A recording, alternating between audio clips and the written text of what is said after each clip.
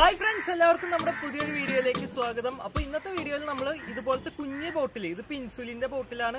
ഈ ഒരു ബോട്ടിൽ അല്ലെങ്കിൽ ഇതുപോലത്തെ ചെറിയ ബോട്ടിൽ ഉപയോഗിച്ച് ചെയ്യാൻ പറ്റുന്ന ഒരു ഹണി ബീനിയാണ് ഉണ്ടാക്കാൻ പോണത്. അപ്പൊ ഇതിന്റെ രണ്ട് മെത്തേഡിലാണ് നമ്മുടെ ഇന്നത്തെ വീഡിയോയിൽ നമ്മൾ ഇത് ചെയ്യണത്. അപ്പൊ അത് എങ്ങനെയാണ് ചെയ്യുക അതിന്റെ കാഴ്ചകൾ എന്താണെന്നുള്ളതൊക്കെ നമുക്കൊന്ന് കണ്ടു നോക്കാം ഈ ഒരു വർക്ക് ചെയ്യാൻ വേണ്ടിയിട്ട് ഞാനിവിടെ ഇൻസുലിന്റെ ബോട്ടിലാണ് എടുത്തേക്കുന്നത് ഷുഗർ പേഷ്യന്റ് ആയിട്ടുള്ള ആരെങ്കിലും അറിയിച്ചെങ്കിൽ അവരോട് ചോദിച്ചാൽ ഇതുപോലത്തെ കുറേ ബോട്ടിൽസ് നമുക്ക് കിട്ടും. ഇനിയിപ്പോൾ ഇത് കിട്ടിയില്ലെങ്കിൽ സാധാ ഈ ഒരു ഷേപ്പിലുള്ള കുഞ്ഞ് ബോട്ടിൽസ് കുറച്ച് കളക്ട് ചെയ്യുക. അതിനുശേഷം ഫേബ്രിക് പെയിന്റോ അല്ലെങ്കിൽ അക്രലിക് പെയിന്റോ ഏതെങ്കിലും ഇതുപോലൊരു സ്പോഞ്ച് ഉപയോഗിച്ചിട്ട്. ഇപ്പോൾ സ്പോഞ്ച് ഇല്ലാത്തവരാണെങ്കിൽ ഒരു ചെറിയ ബ്രഷ് ഉപയോഗിച്ചിട്ട് ഫസ്റ്റ് കോട്ടായിട്ട് ഈ ഒരു വൈറ്റ് കളർ ഒന്ന് അപ്ലൈ ചെയ്ത് കൊടുക്കുക.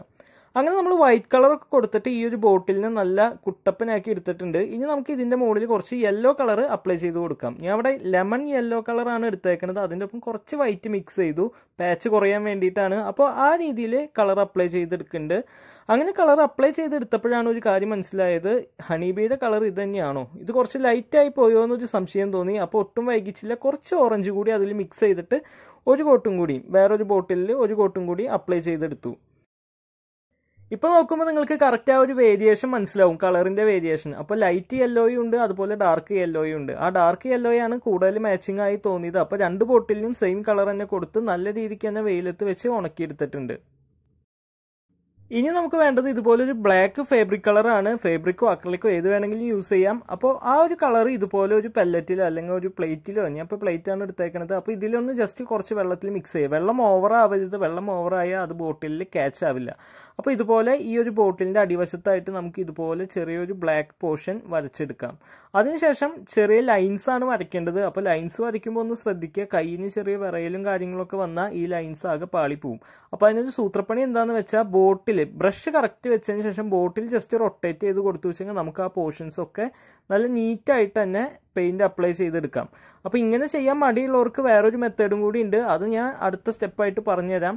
ഇവിടെ കളർ നമ്മൾ അപ്ലൈ ചെയ്ത് കഴിഞ്ഞാൽ ഇതൊന്ന് ഉണങ്ങാൻ വെക്കുക. ഈ ഒരു ടൈം കൊണ്ട് നമുക്ക് കുറച്ച് വേലിക്കമ്പി ആവശ്യമുണ്ട്. ഞാൻ അവിടെ വേലിക്കമ്പിയാണ് എടുത്തേക്കുന്നത് അപ്പോൾ ഈ ഒരു കമ്പി നമുക്ക് ഈസി ആയിട്ട് കട്ട് ചെയ്യാൻ പറ്റും. കത്രിക ഉപയോഗിച്ചിട്ട്. വലിയ കത്രിക ഉണ്ടെങ്കിൽ അത് ഉപയോഗിച്ചിട്ട് കട്ട് ചെയ്യാം. അതല്ലെങ്കിൽ ഇതുപോലൊരു പ്ലെയർ ഉപയോഗിച്ചിട്ട് ഈ ഒരു പോർഷനിൽ വെച്ചിട്ട് ജസ്റ്റ് ഒന്ന് പ്രസ് ചെയ്ത് കൊടുത്താൽ നമുക്ക് ഈസി ആയിട്ട് തന്നെ ഈ ഒരു കമ്പി കട്ട് ചെയ്തെടുക്കാം. ഇനി നമുക്ക് വേണ്ടത് ചെറിയൊരു പാനൽ ട്യൂബോ അല്ലെങ്കിൽ ബ്രഷിന്റെ ഒരു പോർഷനൊക്കെയാണ് അത് എന്തിനാണെന്ന് വെച്ചാൽ ഇതുപോലെ കമ്പി ഒന്ന് ചുറ്റിയെടുക്കാൻ വേണ്ടിയിട്ടാണ് ഇതിന്റെ തുമ്പ് ഭാഗത്തായിട്ട് നമ്മൾ ചെറിയൊരു ഹുക്ക് പോലെയൊക്കെ ഇതുപോലെ ഒരു റൗണ്ട് പോലെയൊക്കെ ക്രിയേറ്റ് ചെയ്യുക. അപ്പോൾ അതിന്റെ പുറത്തേക്ക് നിൽക്കുന്ന ആ ഒരു പോർഷൻ നമുക്ക് ഇതുപോലെ പ്ലെയർ ഉപയോഗിച്ചിട്ട് ഒന്ന് പ്രസ് ചെയ്ത് കറക്റ്റ് ആക്കി എടുക്കണം. തേനീച്ചയുടെ രണ്ട് കൊമ്പ് പോലെ വെക്കാൻ വേണ്ടിയിട്ടാണ് നമ്മൾ ഈ ഒരു പാർട്ട് ഉണ്ടാക്കിയേക്കുന്നത് അപ്പോൾ നമ്മൾ രണ്ട് ബോട്ടിലിൽ ചെയ്യണ കാരണം നമ്മൾ അതിനാവശ്യമുള്ള ആ അത്രയും എണ്ണം ഇതുപോലെ ഉണ്ടാക്കിയെടുക്കുക അതിനുശേഷം ബ്ലാക്ക് കളർ അപ്ലൈ ചെയ്ത് കൊടുക്കുക. നമ്മളിപ്പോൾ കൈകൊണ്ട് പിടിക്കുന്ന ആ ഒരു പോർഷനിൽ കളർ അപ്ലൈ ചെയ്തില്ലെങ്കിലും കുഴപ്പമില്ല. അത് ബോട്ടിലിന്റെ ഉള്ളിലേക്ക് പോണ പോർഷനാണ് അത് ഹൈഡ് ആവണ കാരണം നമുക്ക് ഈ ഒരു രീതിയിൽ നീറ്റായിട്ട് തന്നെ കളർ അപ്ലൈ ചെയ്തെടുക്കാം.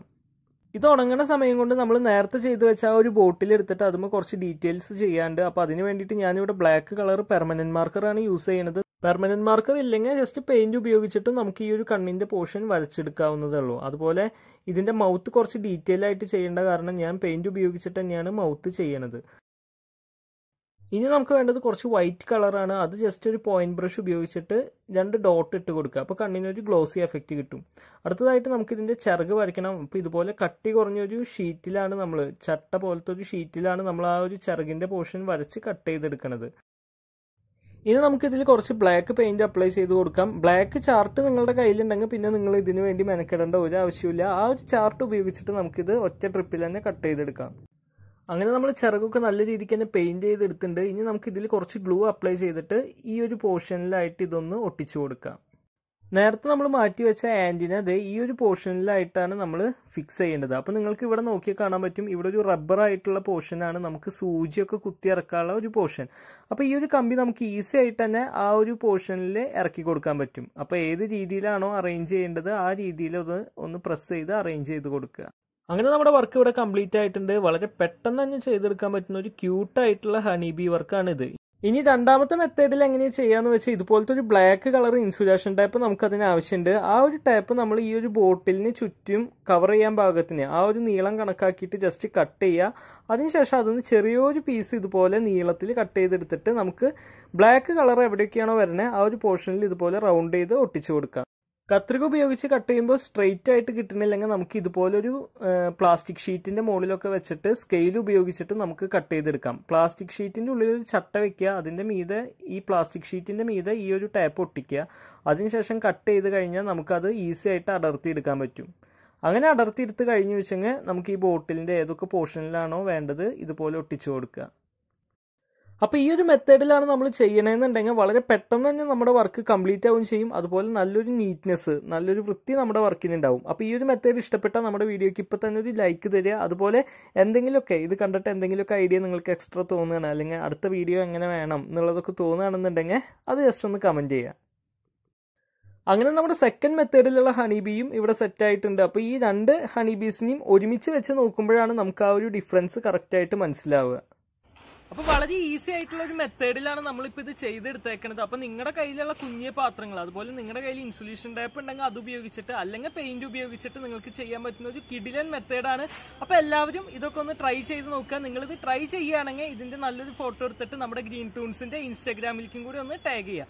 സോ അടുത്ത വീഡിയോയിൽ ഒരു അടിപൊളി കണ്ടന്റ് ആയിട്ട് കാണുന്നവരേക്കും ഗുഡ് ബൈ